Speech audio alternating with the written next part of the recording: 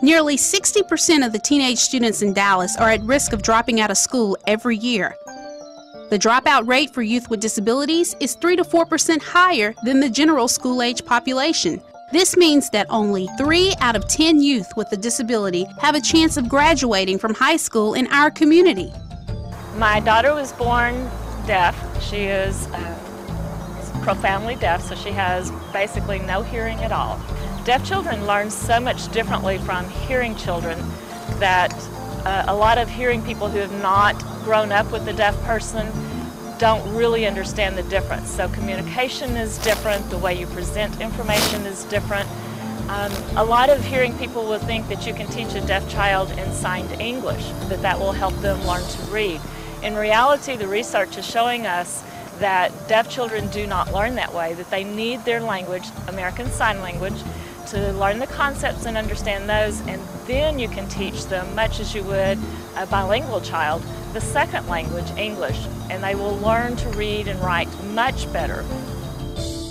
Education was very, very difficult for me because I remember from the time before school started, my mother worked with me. She wanted to make sure that I caught up with my peers by the time I got into um, kindergarten. And one of the things she noticed is I'm three years old, I can't speak yet, I don't have hearing aids yet, and I'm behind in language three years. And one of the things that my mother noticed is I had the ability to be able to use my voice, whereas some other deaf individuals may not have the option to use their voice. And so that was actually a negative um, against me because when I went to school, the teachers thought, oh, she can talk, she's fine. But when they started to notice that my struggle with language, such as reading and writing, was a little bit below my other peers, they thought, okay, well, really, she is a typical deaf person. And I just remember my mother always fighting and fighting and saying, this is not acceptable, this is not acceptable. Tell me about your friend. Sandy. And this is a sign name, an S to the forehead, a Y to the cheek. She's deaf. Because, you know, her parents doesn't know how to sign, and so they don't understand sign language. They haven't learned sign language yet.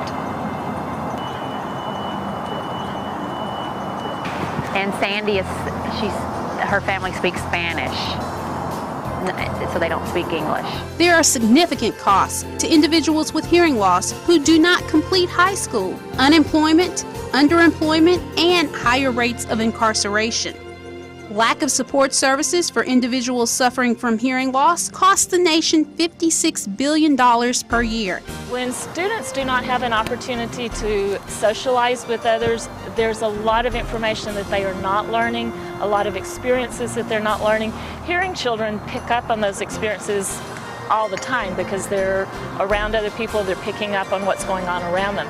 Deaf children don't. It's only when someone is signing that they are learning that.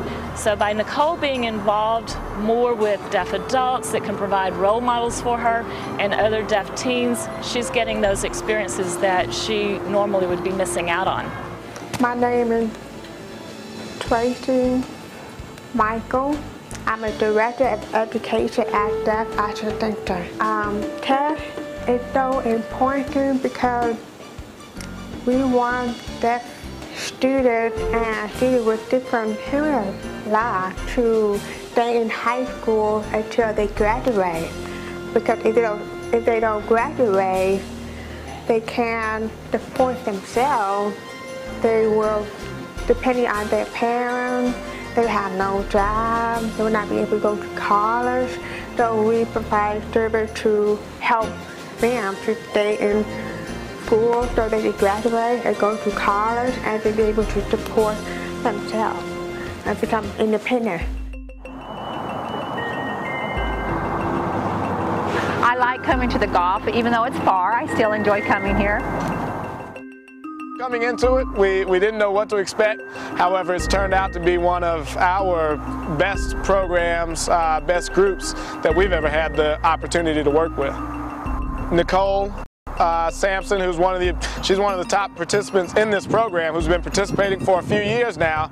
Um, activities like this keep young people like Nicole engaged. They keep them keep them motivated to finish high school, things like that. And um, Nicole, what was great about Nicole's story is that she went on to join her high school golf team, which is which is pretty unique. And the other wonderful thing about Tess is having the private one-on-one tutors.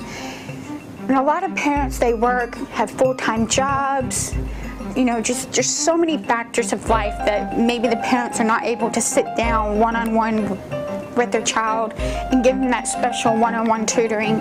And that's one of the wonderful benefit, benefits of TESS program. I look back and had I had a TESS program in high school, I don't think I would have gone through so much of a struggle with the English language. Deaf Action Center's Teenage Educational Support Services program helps teenagers with hearing loss reduce their dependency on public assistance because they will complete high school, thereby increasing their chances of finding and maintaining employment.